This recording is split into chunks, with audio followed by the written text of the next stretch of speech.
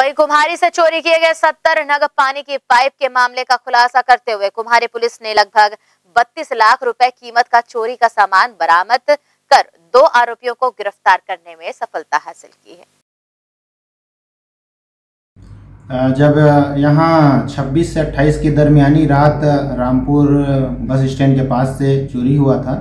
तो हम लोग उसको संज्ञान में लेकर अपराध पंजीबद्ध करते हुए लगातार लगातार वीडियो फुटेज खंगालते खंगालते खंगालते गए और टोल प्लाजा में भी जा कर के उस फुटेज को देखते गए तो गाड़ी का नंबर मिला और वहाँ गाड़ी के साथ में उसके द्वारा जो टोल प्लाजा का टैक्स है, वो गूगल पे से पटाया गया था। तो उसके माध्यम से आरोपी तक हम लोग उसके मोबाइल नंबर निकालते हुए और आगे जा कर के फुटेज देखते देखते वहाँ तक पहुँचे, बिलासपुर तक पहुँचे। बिला, बिलासपुर में इसका छोटू पांडे नाम का जो मास्टर माइंड आरोपी है वो कबाड़ी का काम करता था। तो इसके अलावा और फिर ड्राइवरों को पकड़े और ड्राइवर को पकड़ करके जब पूछताछ पूछताछ करते गए, तब पता चला कि इनके द्वारा जो है